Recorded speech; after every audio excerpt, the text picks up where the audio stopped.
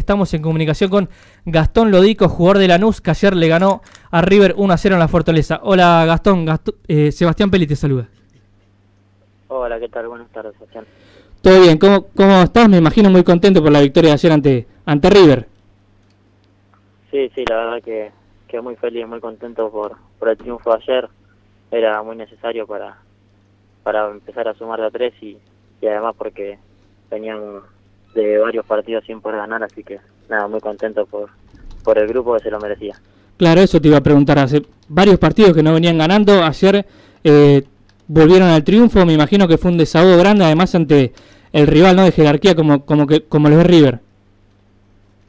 Sí, sí, sabíamos que veníamos haciendo las cosas de, de peor en mejor, este, no estaba todo mal lo que habíamos hecho a pesar de que habíamos perdido con Godoy Cruz y bueno, era importante sacar adelante el partido con River, aunque era muy difícil por el rival de jerarquía, ¿no? Que es, pero, pero bueno, la verdad se hicieron las cosas muy bien y, y bueno, muy contento y nos sirve de muchos otros puntos. A vos te tocó entrar ahí en el primer tiempo y la verdad que tuviste un partido muy bueno, se, se te estuvo destacando hoy en, lo que fue la, la victoria de Lanús, ¿cómo te sentiste? Jugar ante River así quizás inesperadamente, ¿cómo, cómo te sentiste? Sí, sí, la verdad que que me puse muy contento cuando vi que me tocaba entrar. Traté de no dejarme llevar por, por lo que pasaba afuera o por quien tenía enfrente.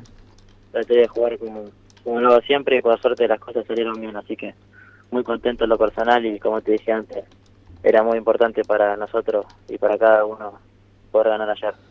Fue una noche soñada, me imagino, para vos. Sí, sí, la verdad que sí, es un sueño. Un sueño ya estar en la primera acá del club, desde el debut, la primera fecha con Patronato, hasta estar jugando como fue ayer contra semejantes jugadores como son los de River.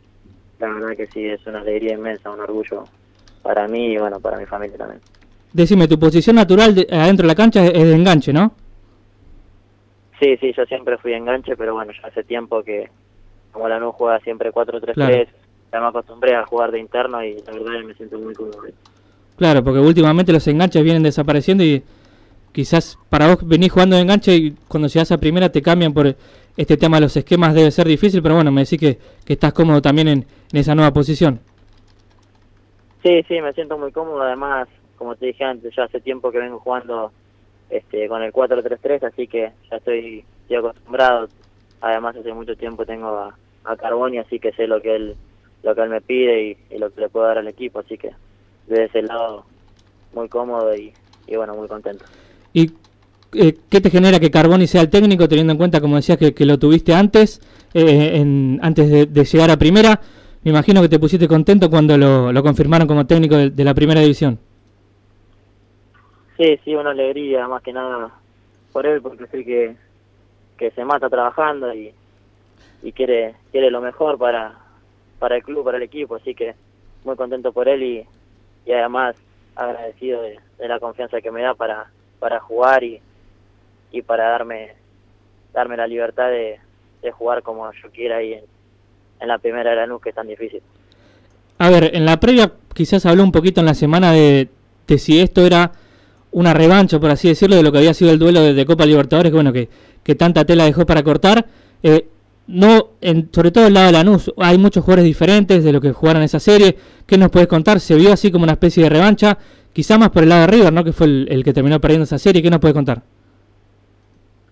Sí, sabemos que estamos en un proceso de recambio acá en el club y, y así se nos da se nos da mucha importancia a los a los más chicos, a los juveniles, debido a, la salida de, varios jugadores eh, grandes, ¿no? Pero pero bueno, la verdad que tratamos de hacerlo mejor eh, nosotros y acompañados de, de, lo más grande que es tan importante. Yo creo que de a poco vamos a ir mejorando y, y salir adelante. Hay, hay muchas ganas en el plantel y, y bueno, y el partido de ayer, más que nada, más que una revancha, era, era conseguir un triunfo por nosotros, por, por el torneo y por los objetivos que tenemos. Era muy importante ganar. Volviendo un poquito al partido de ayer, ¿cuál crees que tuvo la clave del partido? Recién analizamos acá el, el partido con mi compañero y decíamos que quizás River empezó un poquito mejor, pero después del primer gol de, de ustedes de Silva, fue como que cambió el partido y ustedes pudieron dominarlo. ¿Por dónde crees que pasó la clave de la victoria? Sí, yo creo que una vez que pasó el principio del partido, eh, que fue un poco mejor River.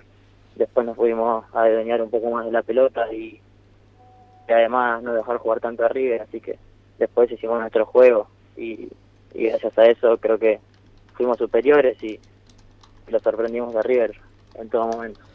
Ayer un jugador que se destacó bastante y se viene destacando generalmente es eh, Iván Marcone, tu compañero ahí en, en, la mitad de la cancha. ¿Qué nos podés contar de él? ¿Hablaste con, con él algo después del partido? ¿Te felicitó?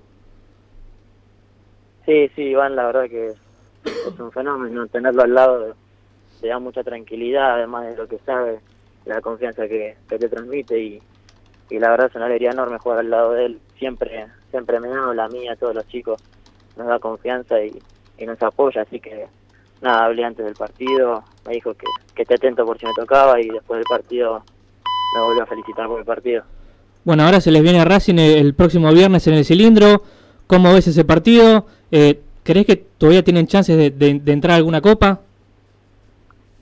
Eh, sí, sabemos que el partido que viene ahora, el viernes, es muy importante. Tenemos que tratar de, conseguir los tres puntos y, así después pensar en, el partido de la Sudamericana. Pero eh, en cuanto a los objetivos de entrar a la copa, eh, sabemos sabemos que sí, que, es importante seguir sumando y ir día a día para para tratar de conseguir la mayor cantidad de, puntos posibles y estar en la tabla. Bueno, te hago la última, hablando un poquito más de, tu carrera, ¿qué nos puede contar eh, de, tus inicios? ¿Quiénes son tus ídolos? Eh, si ese, hay algún jugador que ves para, para intentar de reflejarte, imitarlo. Sí, sí, la verdad que siempre me gustó mucho, bueno, Riquelme, Aymar, son referentes que tengo en mi puesto, pero pero bueno, la verdad que hay muchos jugadores, mirando el fútbol europeo, capaz Coutinho, me gusta mucho. Y, y después de Lanús siempre me gustó eh, Miguelito Almirón, que ahora se fue, pero trato de, de invitar a la, de invitarlos a ellos y, hacer lo mejor posible. Bueno, todos son jugadores muy habilidosos, muy buenos, a ver si eh, lo puedes imitar un poco. Bueno, eh, de verdad te felicitamos de acá de, desde el estudio. Eh, bueno, muchas gracias por la comunicación y será hasta la próxima. No, muchas gracias a ustedes y bueno, lo mejor.